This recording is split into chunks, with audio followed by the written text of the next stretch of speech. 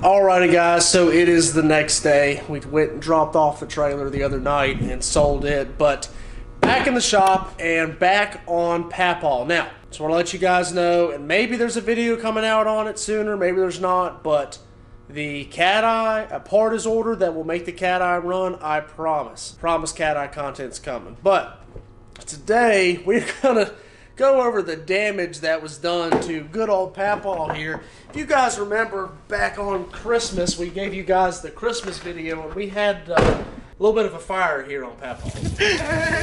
we go, we go, we go. Watch out, stop, stop, stop, stop, stop. It's the rotor, it's under there. Come under here where I am, over here, and shoot down under.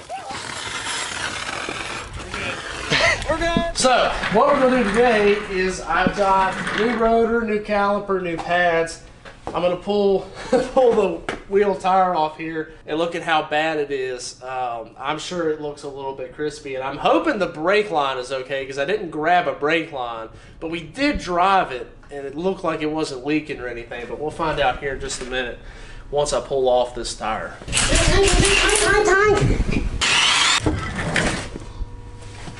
Oh God.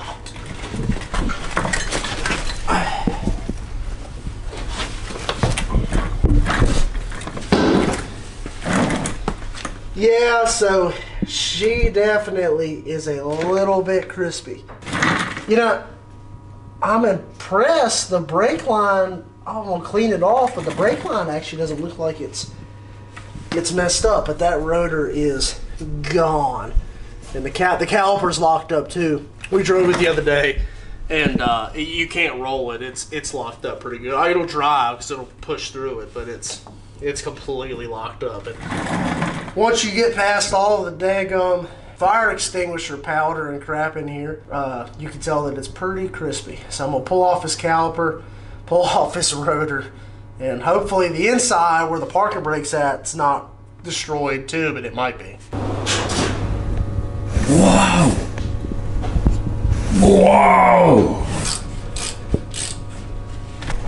Oh, yeah, so uh, you got the bolts out of there. I'm gonna, I'm gonna need a pry bar to get this caliper up off of here. It, it is definitely locked to it pretty good, Small, medium, or large? pretty large.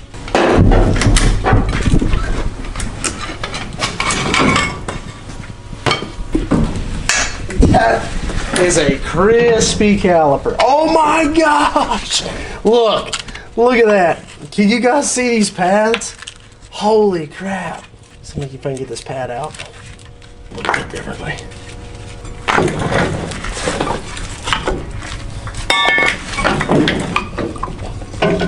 Guys, look at that. The brake pad literally like melted right here on the inside. Good lord. that one's ate up pretty good too. Yeah, that rotor. She is gone, gone, gone. Oh yeah. That is a crispy, crispy caliper.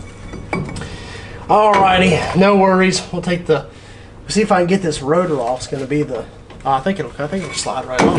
No, I don't think so. That was surprising that we got it.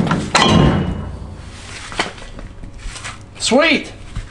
So that wasn't locked. My fear was that this had the screw was so far out on the parking brake that it ended up burning this and locking it in here. Um, but I could smell brake fluid in here, and that's what I think that that was our fire. That's why that's why we couldn't put it out because we are having a fire in there. But awesome.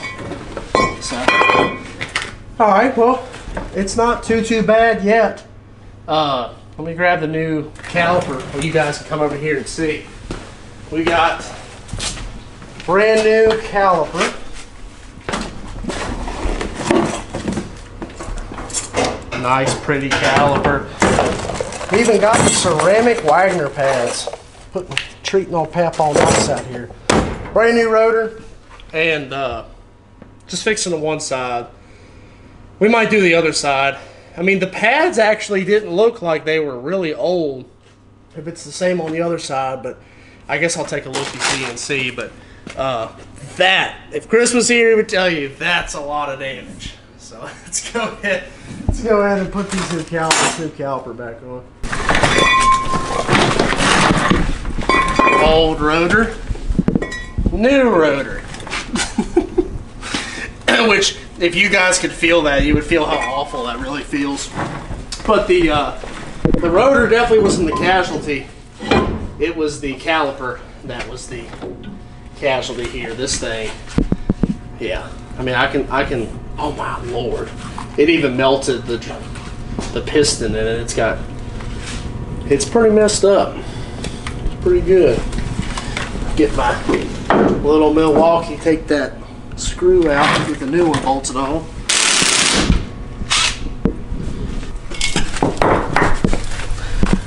God damn it, Jimmy.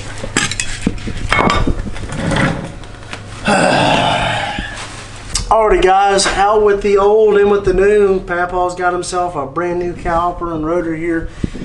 Gonna bleed the brakes. Um, while I'm right here, I'm gonna get this off. It's the rest of the tailpipe because you know we cut the exhaust off of it in the, the other video. So get that off of there and uh, put the wheel back on. I think that tire needs some air and uh, make sure that it rolls right. Weight reduction. Alrighty, gentlemen.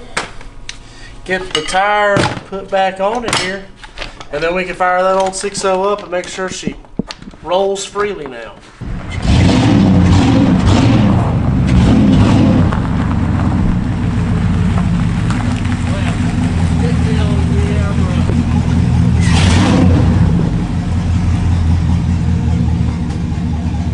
You know, let me tell y'all something. I'm glad that Austin and I decided to keep this truck because this is a good old truck. I'm telling you. And it's got a 6.0, so why wouldn't we want it? So that gives us two 6.0 trucks, one 5.3 truck, and then one Duramax. That's a good. That's a good lineup. But the stop's great, runs great. Um, did an change on it, so she's all freshened up there. So we're gonna do a lot to this one. Um, a lot of modifications that you guys like to see, headers, intake. We're gonna tune it. Um, some of you guys have asked for a more in-depth video of the Diablo, and we'll do it on this truck. And eventually, we will pull. The motor's got a ton of miles on it. We will not just slide a cam up in it. Um, here in a couple or a few months, we'll probably pull the 6.0 out and rebuild it. Nothing crazy, just a cam, maybe flat tops, and uh, as cast heads. So, and then maybe regearing and a torque converter. We oh, we do have a little surprise on the rear end coming later this week. We got somebody coming down to help us with something uh, to make the burnouts a little more worthwhile here with Papaw. So. Appreciate you guys watching. I know some of you guys mentioned about the damage done to the brakes on the truck, and it was pretty bad. So don't catch your brakes on fire. You know, we crimped the line, but obviously we didn't crimp it hard enough because it was still grabbing the rotor and caught it on fire. So appreciate you guys watching. As always, remember the cat eye is coming back. Waiting on the part.